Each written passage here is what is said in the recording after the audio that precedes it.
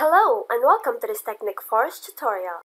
In this video, I'm going to show you how to integrate Google API in Tuberank Jeet 4.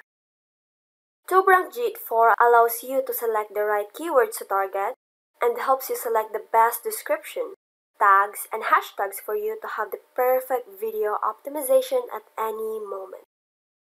The main problem why your YouTube videos are not getting a lot of viewers is because you are not adding the best tags, hashtags, and keywords.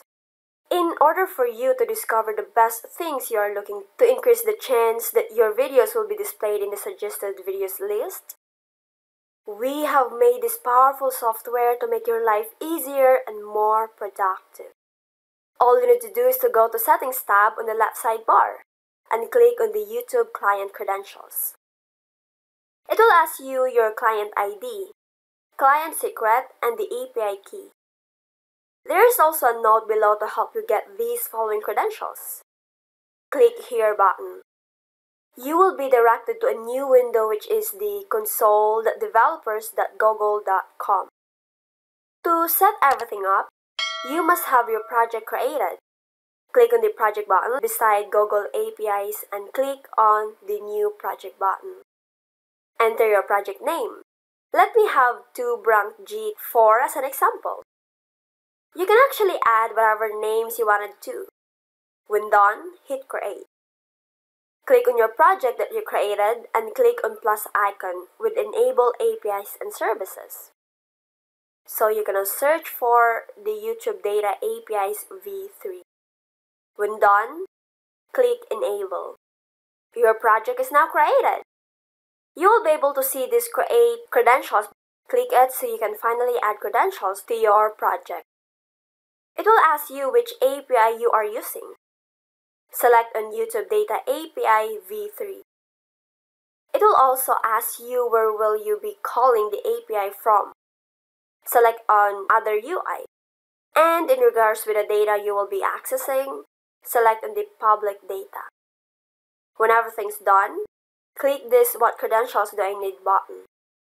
And lastly, click on Done.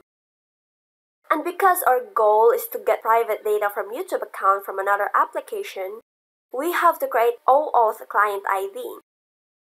Click on the Create Credentials button and select an OAuth client ID.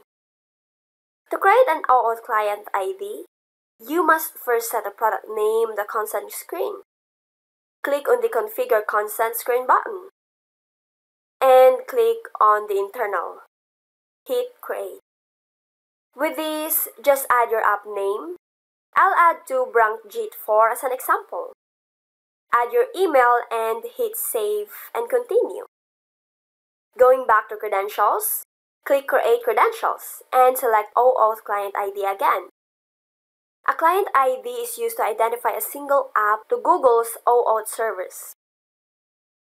Enter your application type, which is the desktop app, and add a name, then hit create. A box pops up to notify you that your OAuth client is now created. Copy your client ID and paste it to your Tuberank Jeet 4 account. Same goes to your client secret. After that, look for the API key and hit on the copy to clipboard icon. So you can finally paste it your Tuberank Jeet 4 app.